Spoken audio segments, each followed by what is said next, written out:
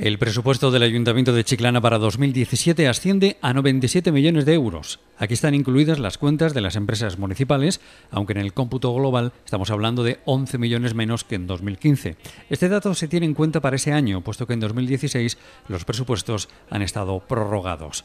Las líneas maestras de estas cuentas municipales van encaminadas a la creación de empleo, para cuyos planes el gobierno local destina 400.000 euros, pero también para incrementar el capítulo para vivienda, servicios sociales, playas, mujer y tercera edad. Vamos a disponer por primera vez de un plan de empleo con los medios que tenemos, con las limitaciones que tenemos, pero intentando con ello que pueda mucha de la gente que está pasándolo mal en nuestro pueblo pueda disponer de la posibilidad de tener un empleo con, esto, con esta dotación de 400.000 euros. No puede ser más la cantidad, no puede ser más la cantidad porque, entre otras cosas, tenemos que atender a un pago de, de la deuda pendiente. Según Guerrero, se ha reducido en casi un 20% los gastos protocolarios, mientras que en publicidad y propaganda se han bajado las partidas en un 30%.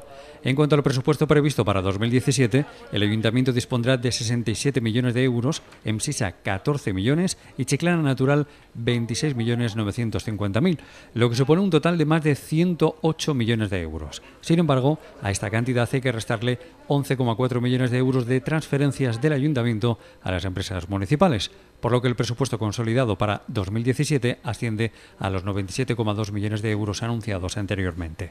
Por su parte, la empresa municipal EMSISA centra los presupuestos para 2017 en la vivienda. No podemos, no, podemos quedarnos de brazos cruzados, tenemos que eh, pensar que la partida que teníamos eh, anteriormente, ¿no? en el año anterior con el presupuesto prorrogado, eh, estábamos hablando de 185.000 euros y hemos querido apostar por, tener una política de vivienda y hemos pasado a tener 450.000 euros. Es decir, porcentaje bien lo ha dicho antes Joaquín, estamos hablando de 265.000 euros más en este presupuesto que, en, los años anteriores. En relación a la promoción de viviendas, se ejecutará en 2017 una promoción de viviendas en la zona de la Cucarela, anunciada meses atrás.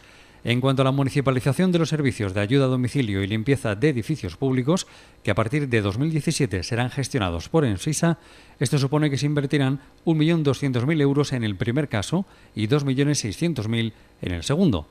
Finalmente, la empresa municipal Chiclana Natural contará con un presupuesto de 26,9 millones de euros, destacando por primera vez la gestión integral de la basura. Hasta ahora eh, el recibo, mm, lo que hacía Chiclana Natural con el recibo de la basura era ser el intermediario que cobraba. Pero a partir de ahora, nosotros, Chiclana Natural, se va a hacer cargo tanto del ciclo integral del agua como de eh, la recogida, el transporte y el tratamiento de los residuos sólidos urbanos de la ciudad.